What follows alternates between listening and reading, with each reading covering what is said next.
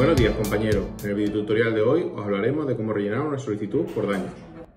Para empezar a rellenar una solicitud de daños, marcaremos el coto con su denominación, matrícula y término municipal al que pertenezca.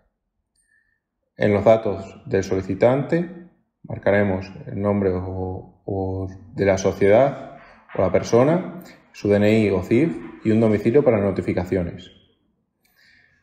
Además de un número de teléfono de contacto.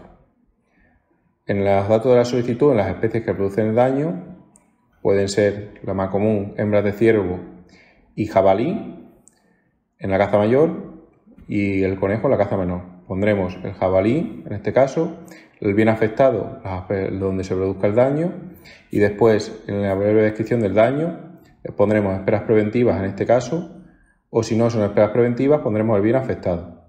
En la identificación de la zona, con indicación de polígono y parcelas, pondremos polígono y parcelas.